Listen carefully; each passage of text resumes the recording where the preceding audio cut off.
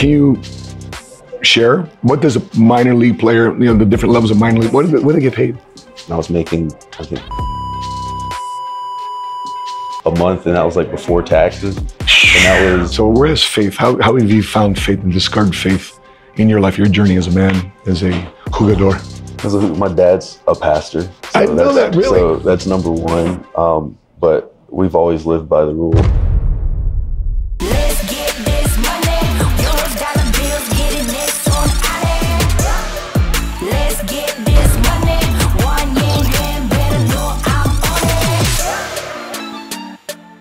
So my guest today is Jay Jackson, 17-year Major League Baseball professional, going on 18. But uh, nonetheless, we connected. For those of you looking to connect with me to answer your questions, text message or video conference, that's how I met Jay Jackson here on an app called Minnect. So welcome to our suite here, our loft at the MGM Grand, brother. Thank you for having me. Thank you for having me. It's great to be here. Glad we connected the way we did. For sure. Amazing. Just blessed to be here. honestly. From from Connect to actually Connect. Yeah, Yeah, that's, that's how right? it works. It's crazy how it works. It's it's a small world, and having the the ability to be here and connect with you the way I have is just amazing. I see you all over the place, so actually catching you at one place and at the same time when I'm free and you're free has been nothing short of amazing. We're done. We're chop chop. Well, I'm glad you're here in Vegas because we're at the our, our annual convention, Yeah. and I'm looking forward to see what your uh, experience is as you check it all out. The MGM um, Grand Arena. I'm excited. I'm excited. I got an invitation from Darren through you again, Yeah. another person. So I'm excited to see what's going to happen today and enjoy the moments that I have here and enjoy, enjoy the people. It's been a great vibe so far since I got in last night. So I'm excited to see what happens. Very cool. Smoking cigars. Uh, we were smoking cigars. You're like chill because you're an athlete, right? Uh, no, I'm just I just haven't been a huge. I haven't gotten to the cigar world yet. I've seen a lot of people. Actually, one of my old strength coaches from the uh, Pirates has his own cigar line, so I need to I need Really? to start dabbling into that. I guess a little bit. So, so you went to, uh, uh, according to your Instagram profile,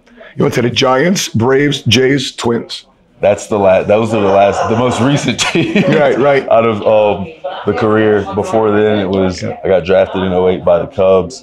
Then from the Cubs, Bro, I didn't know that. Seriously. I got drafted by the My Cubs. in man, 08, okay. Um, long time ago, before they ended up winning the World Series. But the guys that were on that team, I actually got to meet meet a lot of them and play with some of them. So Yeah. that was unbelievable. So I went from the Cubs and then went to from the Cubs to I think the Marlins, the Yeah. Marlins to the Pirates, the Pirates to the Brewers, Yeah. Brewers Yeah. to the Padres, the Padres to overseas, Yo, overseas, back home to the Brewers, from the Brewers back overseas again, Wow. then back home, and then that's when I started putting the because I was never a huge social media person. I'm still kind of not. I'm trying to get more into it so I can gain some more followers. You're like the older millennial. Yeah, you know, it's tough. Like I want, because you know, I want to respect the privacy of the people around me too. Sure. But I understand like I need to have a platform and I need to, Yeah. you know, try to, you know, instill knowledge and Yeah. accept the fact that I've been in this game as long as I have to instill more knowledge to reach out to more people and help as many people as I can. Yeah, bro. I, I love to see when you get back. If what I don't know what the capacity is, or the, the flexibility is. I love to see you do content. You know, in the dugout. I love to see you know. I love to see you do content. You know, walk in the field because that stuff you'll never see again. No. And people get that perspective coming from you, like yo, they're living vicariously through you. Yeah. But nonetheless, you know, I think one of the most impressive things of your career, as I've read about you and, and studied a little bit about uh, what you're doing as a professional athlete, is that you spent eight years in the minors before you got called up. Yeah. You know, most guys will. eh, People start a business, they quit. They start a professional career, they quit. Uh, eh, their their whole dream's about to come true. They're not getting a call. They're impatient with it.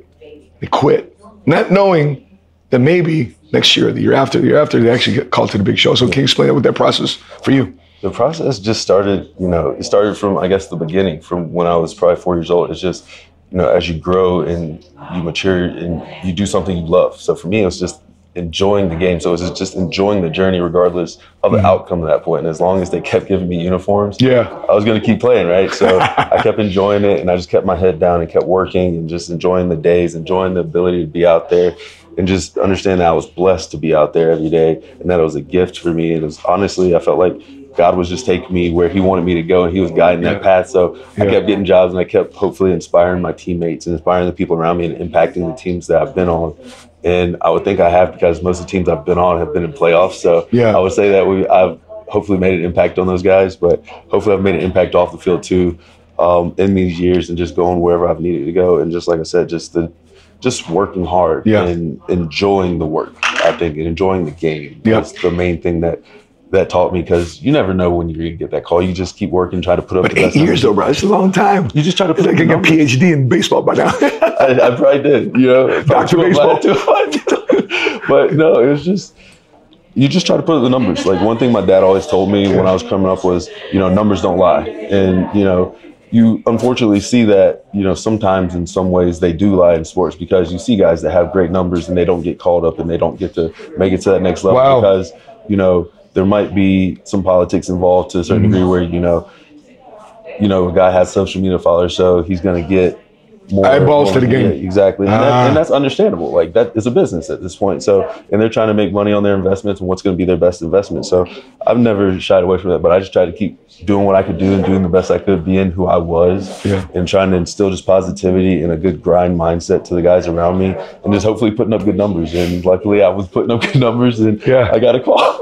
well, speaking of numbers, can you share what does a minor league player, you know, the different levels of minor league, what do they, what do they get paid? Now, I'm not sure now because Yeah. I haven't been. Such a such a such a big now. leaguer, such a big leaguer answer. It's not a big league answer, but just like 'cause my free agent contracts are different Okay. than the standard minor league contracts, where like as like came up because like now I think they're guaranteed housing to a certain degree. Oh, wow. And they're guaranteed a certain minimum. What were you, what were you getting paid? When I was coming up, Yeah. um, I think the most I made on my original minor league contract was in AAA, like my second year in AAA, and I was making I think twenty six or twenty eight hundred dollars a month, and that was like before taxes, and that was trying to like have a family, and we were paying for our own housing, paying for our food, you know, and just trying to live. Twenty six hundred a month. Yeah, so, and that was just that was the max like at the time too for most guys Um, until you sign a free agent contract. Once I signed a free agent Okay. you start making like five grand a month, like maybe ten grand a month at the time. But now, you know, you see guys where I think the minimum guys are making are like five or six, and that's like in low A and high A. Where you know, we're sitting now, we're like, you know, like that, that could have been a lot more doable compared to what it was back then. So how did, how did you make your money? How did you stretch your money and still keep the dream alive and and, and, and be encouraged by it? Because you know sometimes like you're saying, Yeah. you got to raise a family, and some guys they, they bounce because I can make more money at Enterprise Rent a Car or something. that's what a lot of guys did because the off season, you know, you would try to supplement your income, but it's hard to supplement that and try to train to be, you know, the best of the best at Yeah. the same time, right? Because you have to pay to train at Sure. the same time. So you're trying to make money to lose money to follow a dream, and most guys are. Because you're investing back in your asset, which is your, your And- body. Yep. In the first couple years that I was in the minors, the team actually wouldn't let me go play winter ball, and um, which is what a lot of guys go do because it helps you play during the off season. Where's winter ball at? it's normally in Mexico or Dominican Wow. or Puerto Rico. You get to go down those places, and it's a little bit more cutthroat than it is here, which is nice. Um, but you get to get paid to go play during the winter, and so you get to train at the same time. So luckily, my I think third year in the minors, I got to start playing winter ball, and I was playing winter ball ever since. I was lucky that the money I made during winter ball kind of supplemented me through spring training, and sometimes like through the first month or two of the season, honestly. Until, like I said, I started making a little bit more money to help take care of everything. Yeah. Wow, man. And so you, you, you get called up into the league. Then what is it? Did you they redo your contracts and you, go already, from?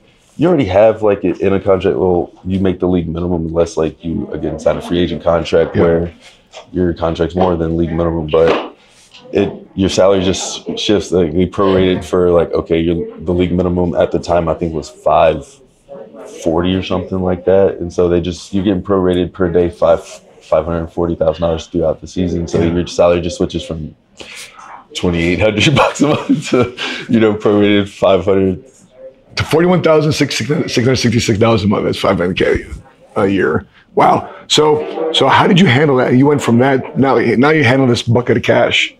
Like what what what is a what does a ball uh, baseball player do? I'm wondering, do baseball players spend money different than basketball players than NFL players? Uh, is there a No, I mean, I think you spend it how you like grew up, really, for the most part. You spend it with the environment you're around. But I was playing for the Padres, so my first checks I had weren't really. They weren't as much as they probably could have been because I was in California and like the taxes. Taxes. Were, taxes were just like I think my first check I got taxed more than I made. So I looked at it and I was just like, oh okay, um, I guess I have to figure out a way to stretch this so it was awesome, but um, I just tried to live the same way my dad always taught taught me to live within my means. So don't. I bought myself a couple like little gifts like as I as I went through my career because after I left um, the Padres that year, Yeah. I actually went to Japan and went overseas. So I started Cool. making even more money than I was over here, and so I, I put a lot back. But at the same time, I would like just get myself like kind of depending on how my season went, Yeah. I would get myself like a congratulations or a celebration gift to myself. Like, like what? What would you get? Uh, my first year, I think I got myself a Hublot, and I think I bought a new car. Nice. And then my second year, I think I bought a Rolex, and I bought my dad a Rolex that year. And then Nice. the third year, I paid off my parents' house. Solid, man. That Solid. was, that was, and that was one of my goals too. Like I think Yeah. throughout my life, like taking care of your parents is one of the few things that Yeah. we never get to truly do. And so for me, um, doing that was huge. Are you the first in your family to be a pro athlete, or you come from a, a pro athlete We background? have a lot of athlete backgrounds, but again, things happened and Yeah. they gave up on their dreams a little too early. So I think I'm the first actual like Yeah. that made it to the the pro of Yeah. the one percent of one percent of whatever I was doing. But my dad told me that back in the day, uh, my aunt actually had a chance to be in the Olympics. Like she was going So to cool. Olympic qualifiers, but she ended up getting pregnant. I got it. um, my dad had a chance to um, play basketball professionally, but his knees and ankles were kind of banged up. Like he got invited to try out, like for I guess NBA, like. G League teams or whatever it was Gotcha. back then. But Sure. Um, so my family's athletic. My mom played softball until she tore her ACL. Wow. Okay. she was playing softball, and I was there the, the night she did it, and so she tore it, and then tried to Wow. not have surgery and then come back, and then So are you are you the Pop it wel- in. are you the wealthiest, uh, highest income earner of your entire family, as a pro athlete? yes. Okay. So uh, my, my question for guys like in your position, and I coach a lot of clients too as well. They're they're entrepreneurs or you know they make a lot of money in their business. In your case, you're you're the business, right? Is there like a protocol of how you talk about money when people ask? I mean, it's, it's natural. Hey, Jay, what's up? Cuz, you know, can I you know, you know fund and finance this deal for me? Whatever. Had- What's that conversation like with family with money? it's grown as I've grown. You know, as I was younger, I felt like you know, helping my family out was like what I was supposed to do, Mm-hmm. as opposed to, you know, it's not like necessarily what I'm supposed to do. Like especially my cousin stuff, like my mom and dad and sisters, like yeah, Yeah. but like my cousin stuff, like it's become to the point where it's like okay, if you have an idea and you really truly have an idea that you think is gonna work, like bring me like something like. That Give me a business see- plan. Yeah, give me a plan. Yeah. I'm like, okay, I can invest in it. That you can show me that we're gonna make something off of it. That's Yeah. gonna make sense. Not just hey, like I'm gonna like be a photographer and I need like three thousand dollars for this camera. Like I don't know what you're gonna do with that. Like, so that's You could be kinda just sitting on, you could be sitting somewhere but not being that's a testament to my dad too, because he's an entrepreneur. He's a businessman. He owns he? his own business right now. What type of business? He's uh, credit card processing. No kidding. So- Merchant accounts. Yes, merchant Okay. accounts. He's he's been in that for I don't know how long now, but he started doing that. He's owned a construction company, a trucking company. Yeah. Just a serial entrepreneur his whole life. but good, I man. think that's a testament to him and the sacrifices that Yeah. he did that to like spend more time helping me through my sports. and Oh, that's great. And my family, my dad and my mom like never missed a game as I was going up and coming through high school. So that Oh, was huge for me. Then plus my sister, um, my younger sister had Down syndrome, and so that was one of the few reasons why. Again, we were talking about where I went to school. I went to school in fir- in, in my hometown because I wanted to be close to my family and my sister, Got it. and it was it was a blessing that I was Did- able to do that. Did you get drafted in college or drafted out of high school? Got drafted out of college. I spent three years at Furman University. Furman, that's right. Three You were telling me that last yeah, night. Three years at Furman. Look at that. Coach Ron Smith. Yeah, so that was the like I said, it was a blessing to be at home and be able to be close to them and be able Yeah. to feel like I was helping and you know being able to kind of oversee as a big brother and make sure that Yeah, exactly. there. What, what what coach in your career, whether you know, little league, uh, like like what call Pop Warner, or what do you call uh, like uh, little leagues, or all the way up, Mm-hmm. what coach has gotten the most out of you? what coach has gotten the most, I think, honestly, it's been myself. I think truly, like I've had to like get the most out of myself. Like they, like they can push me, but like it's ultimately up to me like, to get the work. What an interesting answer. You know, we, we were reading a book. Patrick was uh, he, he got this book, uh, 38 Letters to My Son by John D. Rockefeller. Right? And so he's reading this book to us. You know, because you know Patrick always got a book, he always going through some knowledge. And one of the letters that he says, son, John, you know, ever since I was young, we're dirt poor. but somehow, some way, I always said to myself, I'm gonna be the richest man in the world. And then he became one. So to go from dirt poor to here, that's one thing to say. Like, if I'm a millionaire, I want to be the richest man because you got to head start. But he's going from nothing. I want to be the richest man in the world. Right. And he said, nobody really got anything out of me. I wanted it for me. It was like we, we asked, like how much. Like let me ask you this question: How much um, do you credit Michael Jordan being Michael Jordan, who he is, to Phil Jackson? Phil Jackson, or is it Michael Jordan? I think they go hand in hand. It's Percentage-wise, give me- give me percentage. Percentage wise, I would say Michael wanted to be the greatest. he wanted to be the greatest ever, but Phil had Phil Phil had to push him to get there too, because Phil was again like everybody feels Zen master. Yeah, right. Yeah. Because Michael would get in the way of himself. That was the thing. Michael wanted it so bad that I feel like he got in the way of himself. Where Phil, Phil's like, "Hey, it's okay. you're killing your teammates. Yeah, you're killing yourself." He had to find a way to like push Michael back from himself. So Okay. I think it it might be like a 90-10 because Phil was there Yeah. just to be like, "Hey, That's, that's the percentage Patrick was talking about, man. as like a break or just like being able to just touch him and be like, hey, like Yeah. I know the buttons Yeah. to push. I know how to get the best out of you because you as athletes, Yeah. we don't know truly if as great as we want to be to stop. Like I was telling you, like now that I can really kind of talk about it, is like I was kind of dealing with injuries all year.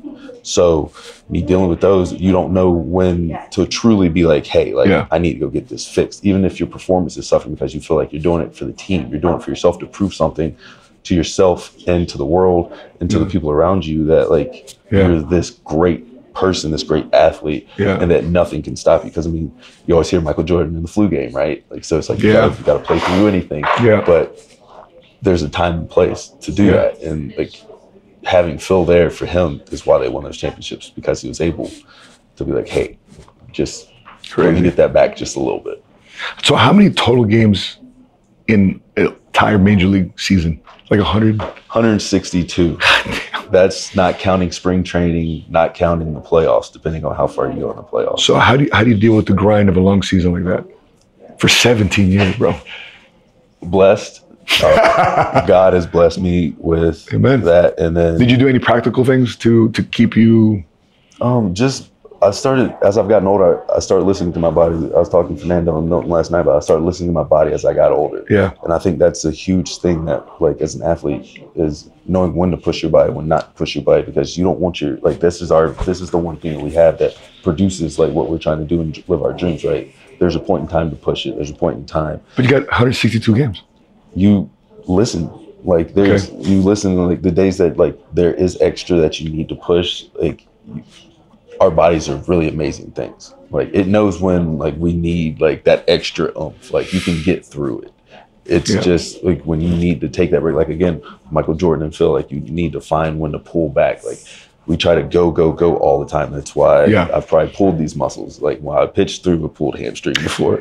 you know. Yeah, Patrick took us to the Yankee Stadium a couple Yeah. weeks ago, and I was watching the players warm up, and they had cones, and so they started warming up their arm at five yards, ten yards, and back to twenty, and back. To, so even in, there's a professional life, Yeah. so they still had to warm up their arm that way. Yeah, you you have to ramp up, especially because what we do is not a natural motion. So you don't just hop up and just throw a baseball because, like, I feel like your your definitely arm's gonna be sore. And you just look at the position players that throw all the time. Like, if games are out of hand, they come back and tell these guys all the time. They say like, my arm is sore. I'm like, yeah, like, you throw five ten pitches, like your arm's gonna be sore because it's not natural. But you just you base the workouts around your body and try to like Yeah. get as much recovery and downtime as you can to be ready for those games for those moments Yeah. because you don't know which moments are going to be key you try to give the best you can every time Yeah. and if you're available you just try to be as available as you can and my thing that I tried to do every year was I tried to be as available as I could, like Yeah. for everybody, for my teammates, no matter if it's on the field, off the field, like whatever they needed for me.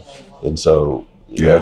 trying to just be consistent. 17 years is, like I said, that's just the body being Right. blessed to, again, the I've been through so many different training cycles too. Yeah. You know, like from the old school, we're just gonna load you up as much as we can to Yeah. like the new school, you know, more like single leg balance things Yeah. and trying to stretch and these so it's just finding balance and just Yeah. listening and like working with the guys and working with yourself. Like again, like it's just trying to listen to it. Yeah. Just follow follow the lead. How, how would you describe the difference in a locker room between the players, both from talent wise, mentality wise, money wise? How would you describe it? it depends on what team you're on a lot of times.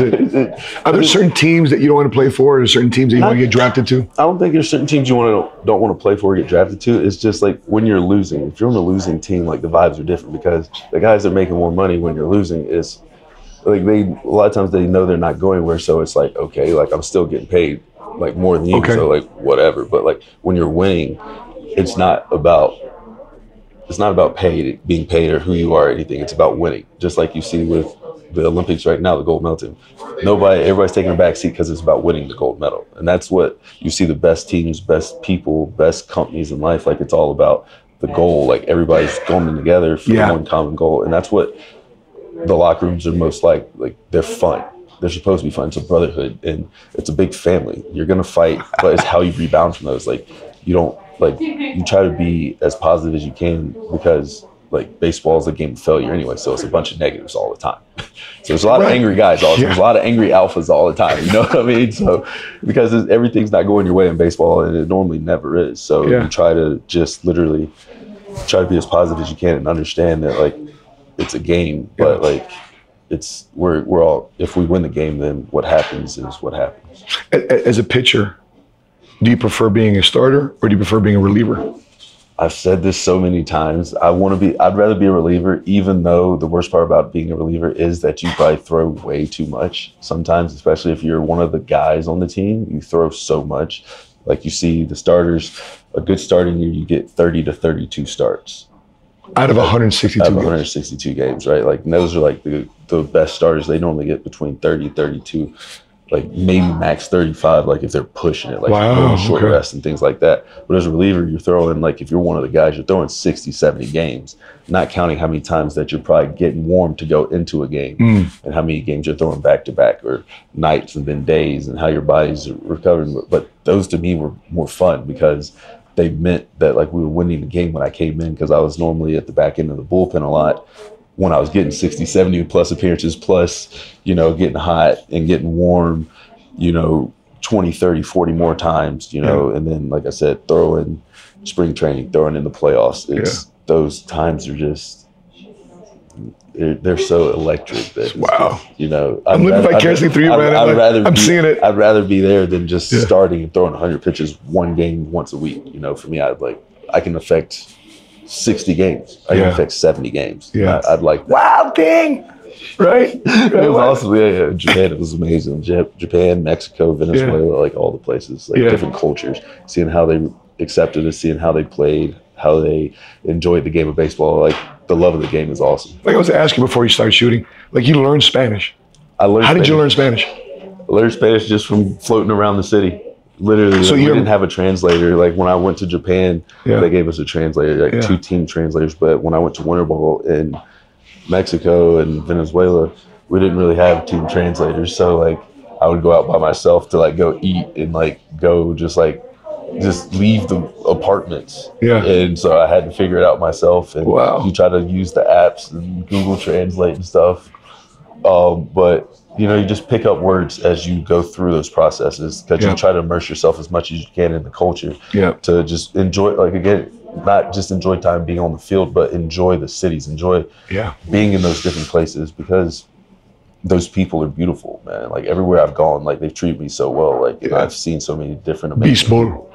Baseball. What do you call what do you call a baseball player in Spanish? El jugador. Jugador. so, uh, the interesting thing when I'm coaching people about money, right? They, they talk about how they were raised in money and they had a certain language of money. And that's broke. I call it brokenese because it's a broke language. I can't afford it. Eh, we ain't got no money for that, right? That's called brokenese. But millionaires, they talk about money differently. Okay, how am I going to get it? Yeah, it. How do we finance it? So it's a different language, different pr- disposition. So it's funny that you say that because I'm coaching guys that speak a different language all the time, but they're always in the wrong environment. So I'm coaching them to get in the right environment. If you're in the right environment, you're immersed in the environment, you naturally speak the language of that. So you, you I love the point to you. share Yeah, it'll that. find you. Yeah. And same thing, like my whole thing now, kind of that we'll see how this transition phase goes for me. If Yeah. year 18 happens or if it doesn't, and I go, I'm just trying to same thing, kind of switch people's mindsets like we were talking last night, Yeah. from kind of a negative mindset to a positive mindset, and Yeah. have people be more happy. Kind of Yeah. the same thing because, like I said, your life changes when you start doing that. You Yeah. start you start elevating yourself. Your life gets better the more positive you look at it. Honestly, Yeah, for sure. Before I wrap up, man, you know, this is a faith and finance type of channel. So where is faith? How, how have you found faith and discarded faith in your life, your journey as a man, as a jugador? As a, my dad's a pastor. So I know that's- that, really? So that's number one. Um, but we've always lived by the rule God, family, and then whatever else you want to put under it. So God's the first thing that we've always had. So it's faith first. And me and Milton and Fernando were talking last night.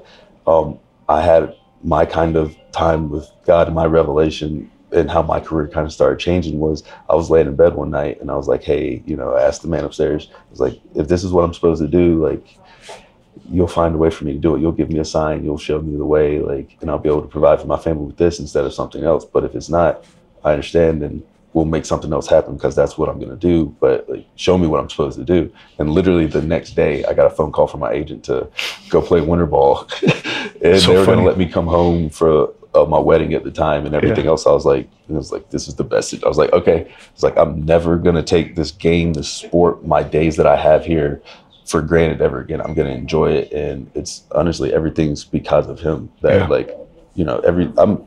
I tell people all the time, if I wake up that morning, I can figure everything else out because like I'm blessed enough to wake up. Because a lot of people Amen. aren't that blessed. It's gratitude. You know, what I'm saying? Yeah. every day. You know, and people just you know pass away for nothing. A lot Yeah. of times, you know, people. Yeah. My my godfather, rest in peace. He passed away in his sleep. So you know things like that. Like Yeah. you never know. Yeah. It up. So every day I wake up, I'm like, if I wake up, I figure the rest of the day out. Have, have you ever prayed for something expecting God to answer you one way, but the answer you actually got or the call you got was something totally different, but yet it was the blessing that God wanted you to have? I feel like that's life, and that happens in everything we do.